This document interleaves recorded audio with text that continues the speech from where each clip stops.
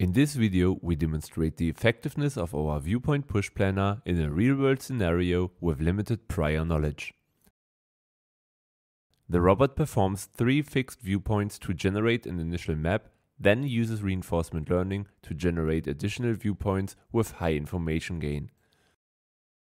The boxes in the front hinder visibility, so we sample push candidates and execute the best push action as indicated in blue to reveal a small box at the back of the shelf.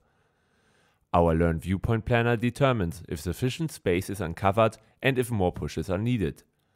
In this case, our pipeline decides that an additional push was required to unveil more space behind the boxes.